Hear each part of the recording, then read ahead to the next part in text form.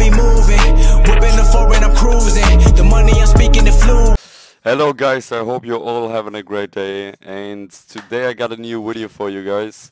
Um, someone in the comments um, asked um, me to make a settings video, so there you go boy, this is for you. So these are my video settings, as you can see. I pretty much got the competitive settings, view distance on far.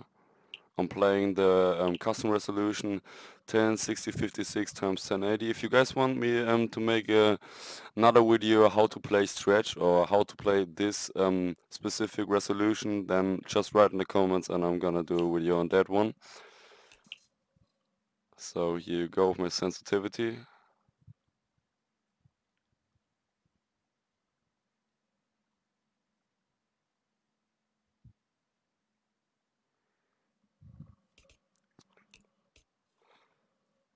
My brightness calibration is on 74.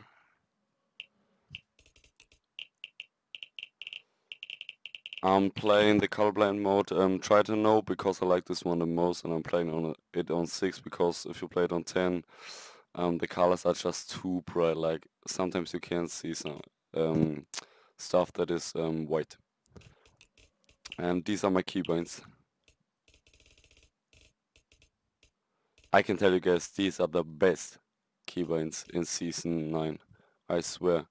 I'm using this over the past um, couple um, months and um, I got so used to it and I swear it's perfect like yeah man I love it for me it's just too easy to reset with mouse wheel and I'm just doing it with right click as usual